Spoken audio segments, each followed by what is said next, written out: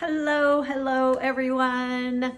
So I'm pretty excited um, to share some of these little videos with you, and I'm going to put them all in a uh, playlist so that you can go to this playlist and go through these little 15 minute, maybe 20 minute is going to be where I'm trying to hold the max time. Um, and just practice and learn. And we're going with the basics. So if you have never done watercolor, or maybe you're still a beginner, you are my people. And although I've been painting for decades and decades, I love teaching beginners. I love sharing the excitement and the beauty and the magic of watercolors. It's one of my favorite things.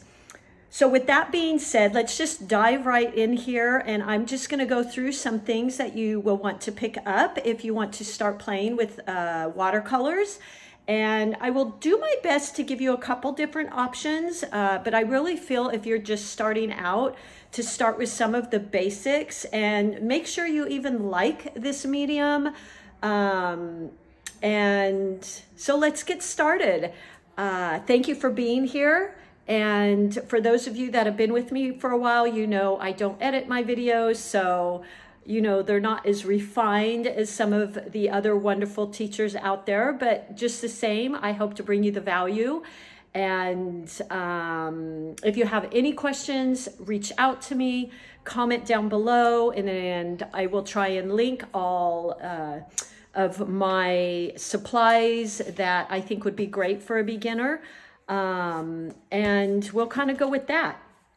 So before we get started, um, I, I want to share with you just a few kind of basics um, that I think are great for beginners and they're good quality for the money.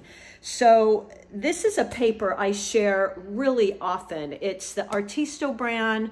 Um, they sell them in a three pack on Amazon. I think they're $20, but uh, they're less than that. And they always have this um, 5 or 10% coupon. So I will give you the link down below and um, you will love these. And I like them because they come in this spiral binder and uh, you can go through your book and go through as you're painting inside um, and reflect back on some of these practices I'll be sharing.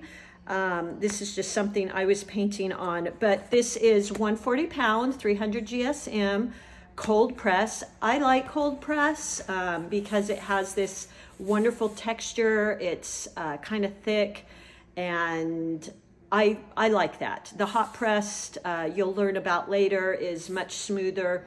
I like the, the uh, cold press. So I will link below. I think this is a great, great um, pad and it comes in a three pack, great to invest in. So that's your paper.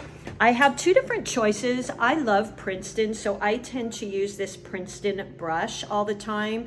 Uh, these are about maybe $10 and I will link. Uh, I say if you're gonna bring uh, one brush to your practice to start with, bring the round brush. This is a number eight, um, so I will link that for you. That's a little bit more. Um, again, that's the Princeton. I I found these wonderful brushes, and I have every kind of brush you could imagine. Uh, these are the Dugatos. It comes in a set, and I think it's like $11, and you get all kinds of sizes. I like it because um, the Princeton brush is a little bit softer. I like the tip and the uh, bristles on the Dugato. They're quite a bit firmer um, and what they call snappy. Uh, so to me, they hold their shape and they have that beautiful point. So those are going to be the uh, supplies you'll need. From home, I buy these little, um, they're really common, the Ball wide mouth jars. I suggest you have two of those, um, one for washing, one for rinsing. It's really important with watercolors because they are so transparent that you're not carrying over dirty water into each of your colors when you're switching colors. So have your two containers of water, one to wash, one to rinse. And then paper towel from home is great so we can be dabbing off our brush. Um, as far as paints, there's lots of different choices. Um, a week ago or so, or so I shared this, um, I think is a great beginner's palette. Um, it's called Meiliang. I will again link it below. What's wonderful is you get all these colors because in the beginning, mixing colors and finding beautiful shades is a little overwhelming for beginners. So this has every shade. Like you don't have to mix anything. It has your primary colors, it has your secondary colors, it has your tertiaries. It's a wonderful little palette. And actually, if you don't want to buy the brush yet, they give you this little brush in there.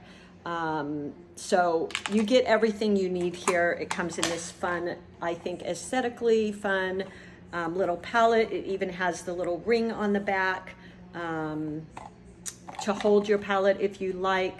So that's your paint. You can also go, if you're not sure you're going to stick with watercolors, I wouldn't invest in the tubes. Um, I would definitely just pick up an inexpensive watercolor palette because in the beginning, it's really gonna be about learning the brush strokes, creating muscle memory. So you have that confidence to paint. Um, so, you know, don't invest in too much. What I would invest in is, is your paper I'd spend the most on. That's just personal preference for me. Um, and give yourself, you know, with this, you get the three pads for under $20 and it's going to give you lots of practice sheets and as well it's binded so you can be going through you can refer back to what you're learning um, so for me that's where i would spend my money um, you can buy these Dugato brushes which are relatively inexpensive um, so you're maybe talking here if you buy this i believe it's about $20 online with Amazon. Um, you don't have to buy this one though. You can buy just an inexpensive watercolor. And I'm, I'm talking this is for the beginner who isn't sure if you're gonna stick with this. You just wanna play and dabble in it at first. So those are my recommendations. Also have um, a spray bottle. I know that sounds weird to you beginners so that you can, uh, when you have your pan paints, they're hard. So before we paint each time, we're going to use a spray bottle. We're going to spray them. That activates them and softens them and gets them ready to use. Um, so there you go. It gives you this perfect little mixing uh, palette up above. And that's really all you need. So you could get away with your biggest investment is going to be with the Artisto pads and really I can't stress enough. You may be saying, I don't need three pads. Um, you know, I, I can't tell you enough. Use the three pads. Like, give this a shot. Um, once you go through your three pads, then maybe invest in something a little bit more. But I've been painting for decades and I still love how these react with paper. I've used tons of different papers from student grade to the really expensive um, papers, and I just love these. So there you go. I hope to see you back again and um, subscribe below so that you can find me. And I will put together a playlist for all of you new beginners out there. And I'm so excited to start this journey with you. Um, and this is where you come first just to get a grasp on what supplies might help you. All right, I'm so excited to be here with you all. And um, I think that's it. We will see you soon. Happy painting, everybody.